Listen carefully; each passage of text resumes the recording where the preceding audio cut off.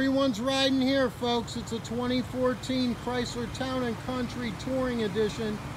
Miles are right around 100. It's two-owner unit. It's got a perfect Carfax.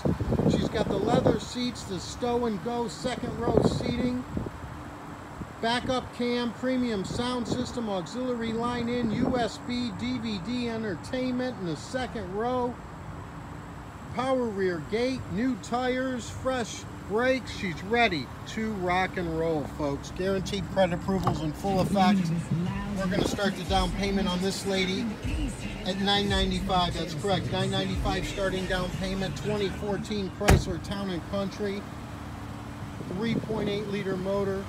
Service contracts are included. Guaranteed credit. Approval program.